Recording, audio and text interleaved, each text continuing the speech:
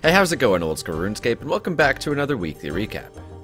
And we kicked off the week with a new dev blog on Great Kourend. And because this blog is so packed with content, I'm going to take you through it quickly. So first, we have the Catacombs of Kourend. Found deep beneath the city, the entire dungeon will be multi-combat with no cannons allowed. Bones buried within the catacombs restore prayer points by a small amount. There will be higher level versions of existing Slayer creatures like Bloodvelds or Banshees. And creatures within the catacombs have a chance of dropping pieces of Dark Totem, which can be used to take on a new demi-boss.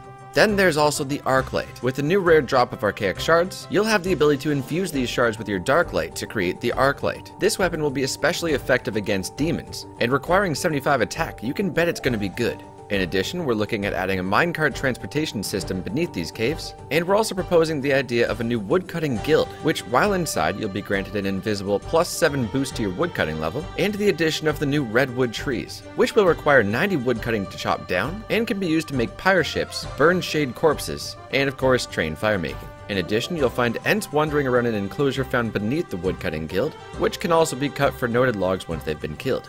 And finally, we have the Hosidius fruit stalls. Requiring 25 thieving, these stalls would provide a chance of receiving multiple different types of fruit. And there's much, much more, so be sure to give the devblog a read. Moving on to this week's updates. Starting with the new Necromancy teleport tablets, including convenient teletabs to places like the Wilderness Cemetery and Barrows.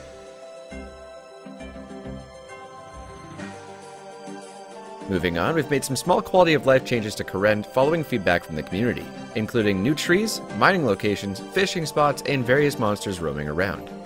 Up next, you'll find we've made the Monkey Madness 2 boss fight replayable. And speaking of Monkey Madness 2, the Demonic Gorillas saw some changes like a new large single-way area, loot broadcasts, and Neve's gravestone will now track how many kills you have. And with all of that, we move on to this week's Q&A, where ModGhost previewed a new sneak peek of the new Master Clue Skull rewards, the Mummy outfit. So we've got treasure trails coming up soon, and some of you wanted a mummy outfit.